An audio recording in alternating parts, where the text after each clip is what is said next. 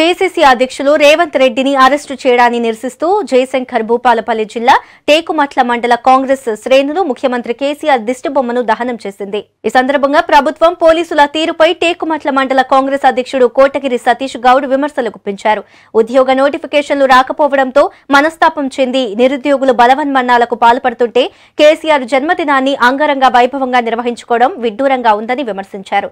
KCR birthday నాడు నిరసన తెలుపుతున్న రేవంత్ రెడ్డిని అక్రమంగా అరెస్టు చేశారని మండిపడ్డారు. తెలంగాణలో కల్వకుంట్ల రాజ్యాంగాన్ని అమలు చేస్తున్నారని సతీష్ గౌడ్ ధ్వజమెత్తారు. ఈ కార్యక్రమంలో జిల్లా కార్యదర్శి వైన రవీందర్ యువజన కాంగ్రెస్ జిల్లా అధ్యక్షుడు బండ శ్రీకాంత్ యూత్ కాంగ్రెస్ నాయకులు రెడ్డి రాజుల రాజు బోయిన మధుకర్ పేరుమల క్రాంతి పాల్గొన్నారు.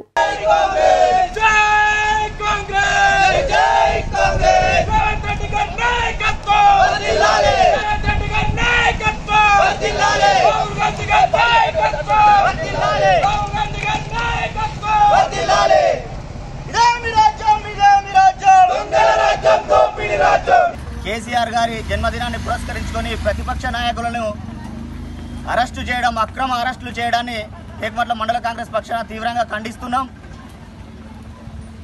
ఒకవైపు నిరుద్యోగ యువత నిరుద్యోగ వృత్తి కావాలని పిట్టల్లా రాలుతుంటే తల్లిదండ్రులకు గర్భశోకం మిగులుస్తూ ఉంటే పిట్టలరా రాలుతున్న నిరుద్యోగులకు భరోసా ఇచ్చే ప్రయత్నం బంద్ చేసి ఈరోజు కేసీఆర్ గారు మూడు రోజులు జన్మదిన వేడుకలు జరుపుకోవాలంట.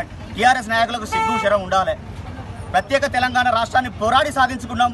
ఆ రాష్ట్రాన్ని ఎలా అభివృద్ధి పదంలో నడిపించాలో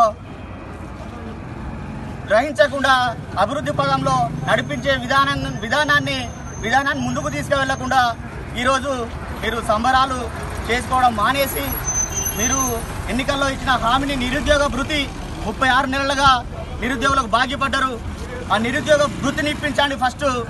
నిరుద్యోగ భృతి ఇప్పించిన తర్వాతనే మీరు జన్మదిన వేడుకలు చేసుకోండి.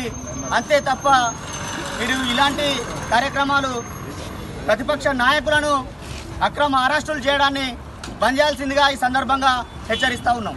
జై కాంగ్రెస్! జై కాంగ్రెస్! జై కాంగ్రెస్! జై జై కాంగ్రెస్!